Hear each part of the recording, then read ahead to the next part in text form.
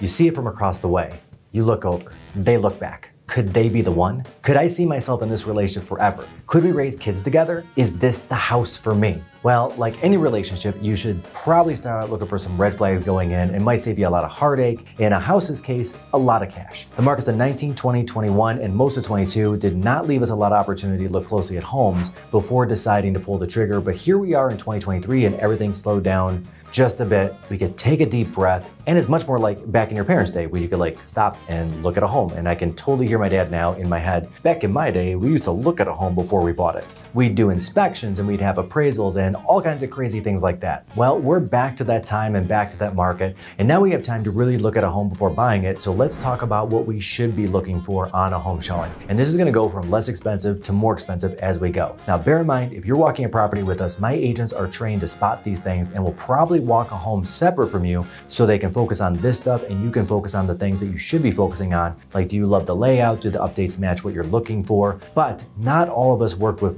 well-trained agents, so keep this video handy. My name is Mike Perna. I run the number one real estate sales team in the state of Michigan. We have over 2,400 five-star Google reviews, and there's a Calendly link right there in description where you can book a time for us to chat about your upcoming home purchase or your home sale and how to net the most money. In addition to that, don't forget to subscribe and like the video if you feel that this video can help others. Let's move on to red flag number one too much scent. Cookies in the oven, something simmering on the stove that smells delightful, plugins everywhere. The more aggressive the scent when you walk into a home, the more likely the seller is hiding something. Are there plugins? Are there wax warmers and candles? Take a good look for carpet discoloration. That could mean cat pee, which is just frankly a bear to get out. And look up at the ceiling for signs of previous moisture. That could mean they're covering like a mold or a musty smell. Or it could simply mean you're my grandmother and you love overwhelming scents and red floral couches covered in plastic like every other Italian grandmother should. Red flag number two, poor tiling. Take a good look at the tile lines in the bathroom, the kitchen, and anywhere else that there's tile. Look for gaps and cracks if the tile's uneven. And this could mean as much as the house is shifting, or it could mean as much as this guy watched a couple of YouTube videos and decided he's the next Bob Vila. Now, if you don't know who Bob Vila is, ask your parents. And I just said that, and that just made me feel super old. It could mean that multiple fixes have been done on a fixer-upper property or a flip property and done by somebody who really isn't in the remodeling business or isn't a professional tile contractor, and they had no clue what they were actually doing. They were just trying to save a little bit of cash. At the minimum, it means big bucks in labor alone to rip out and redo tile. Rarely do fixes with tile actually work permanently and then just recracks. Red flag number three, foundation issues. There's one truth about concrete. Over time, all of it cracks. Driveways, garage floors, and of course, basement walls and floors. Most of the time, cracks simply mean the home is settling. And I mean, like there's a big thing where there wasn't a thing before, so it does settle into the ground a little bit. But there are two things primarily to look for, especially in basements. One of them is not gonna be hairline cracks in the basement floors. Those are typical. But if you can fit a dime in it, that's a problem. Also, a few vertical cracks in basement walls are normal. Again, if you can fit a dime in it, that's a problem. However, horizontal cracks in basement walls are not. Those may mean the house is shifting from side to side instead of up and down. Also, some tip-offs on oversettling are sticking doors or windows, which could mean they're just poorly hung, but in combination with sloping floors could mean a potentially huge project reaching well past $10,000 to shore up and fix the settling issue. Now, I bring a marble or a golf ball with me when I show homes, just to see if it rolls on its own when I show a home. Now, it's not like Bill Nye the Science Guy proven method that there's a problem, but it's a fast way to see if I need an inspector or even a structural engineer to look more closely at. Red flag number four, deferred maintenance. When I'm walking through a home, I'm always looking to see if the owner didn't keep up on routine maintenance items. Now, stuff like burned out light bulbs, I'm really not that concerned about. Everybody has a couple that they've been meaning to get to and just haven't. I'm looking more for like long grass, leaky faucets, faded paint on the exterior. Now, long grass alone doesn't mean anything, but when your home is being sold, it's now a house, it's a product. Before you put a used car out on the side of the road, you give it a wash and a wax and a vacuum, right? Now, why didn't the owner cut the lawn or repaint the peeling paint on the outside to make the home look the best it can look? These are small signs of bigger neglect. If they didn't do that, check the air filter. Does it look like the original that came with the furnace or has it been replaced regularly? That extra strain on the furnace will take years off its life, literally years. Check the caulk in the bathrooms. Is it cracked and old or is it in great condition? If it's a tub surround, that could mean water has actually been getting back there for years. And if you're seeing this just walking through a home, imagine what your home inspector is going to find on this one. Red flag number five, and this is for you lake homes out there, really anything by water. Take a look at the grade running to the lake or the creek or the river. It sure looks pretty, but is the water at the top and how far away from the house is it? Our weather's been getting a little hectic these last 20 years in the United States,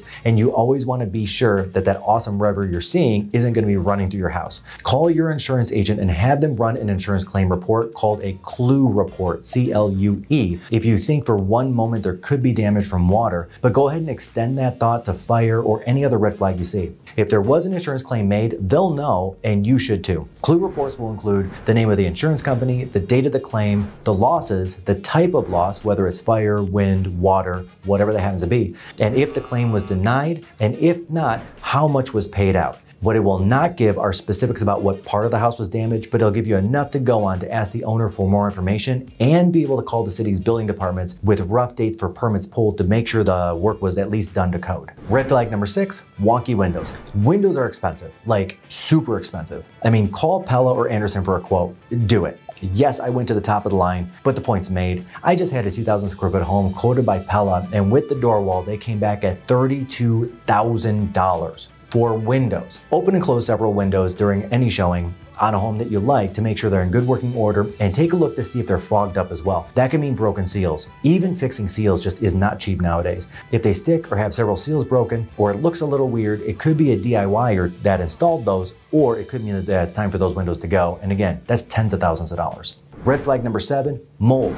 And it had to be on this list. When you're looking for signs of mold, I'm looking at cracked caulk mentioned before in the bathrooms, but also opening the kitchen and bathroom cupboards to look for signs of moisture around the pipes and the drains. Further, when your home inspector goes through, make sure they're checking the attic. Most of the time with attic mold, I found it to be a small issue, a couple thousand bucks, easily fixable, but that's not all the time. Typically in an attic when you see mold is an overzealous homeowner that added their own insulation and went right to the roof line going right over the soffit vents. There are soffit shields available at Home Depot for this and a good remediation company with a lifetime warranty can get it done and get it done fast and inexpensively. But then there are the big issues. I sold a home in Farmington Hills about 10 years ago where the owner bought a really expensive shingle. I mean like a really good one with a 40 year rating. Now 10 years in, he was selling the home and he could not stop talking about how awesome his shingle was. When my buyer had the home inspection, I told the inspector something on the roof just looked a little off. The only reason why I really looked hard at it at that time, that was a good reminder for me to look at things for my buyers, but the only reason why I looked at it is because the guy kept going on and on about the roof and it just looked off. And I'm not a roofer, it just looked funny. The owner, as it turned out, had his unlicensed and uninsured cousin put the roof on, and they roofed right over the ridge vent. Now, with a roof, hot air rises, and a roof needs the combination of a ridge vent and a soffit vent to keep the roof moisture free. This is the most common type of roofing ventilation system, but it's not all types, by the way. This roof was not moisture free in the slightest. This 40 year roof, as it turns out, only lasted 10, with the boards and the insulation being completely covered with mold from 10 years of moisture building up. It was an $85,000 fix. Further, that's gonna be on the seller's disclosure for everyone to see for the next sale and the next sale after that. Red flag number eight, you're just not that into it. I see a lot of buyers today buy homes because they're 35 and they're feeling behind in some way. They've gotten the speech from their parents. Back in my day, I bought my first home at 14, saving my down payment for my communion money and doing odd jobs around the neighborhood at eight years old and working full time at 10. And for a lot of people, the American dream just doesn't include homeownership anymore. With remote work, I see a lot of people pack it up and travel in a van, do the Airbnb thing, or maybe they're just not ready or even into homeownership. So red flag number eight is buying when you're not ready because selling anything sucks. If you're looking for proof, look at your basement or your closet at all the stuff that could be or should be on Facebook Marketplace, but instead they're just sitting there going down in value. And Facebook Marketplace is easy. It only takes a few minutes to throw a post up. Selling a home and then packing up and moving is an actual lot of work. My name is Mike Perna, local real estate agent here in Metro Detroit. I hope that you love this video. If you got something out of it, please hit the like button so more people can see it. Don't forget to subscribe to the channel because we drop videos every week and I'd be honored to get the call to interview for the position of being your real estate agent. Thank you again and see you on the next video.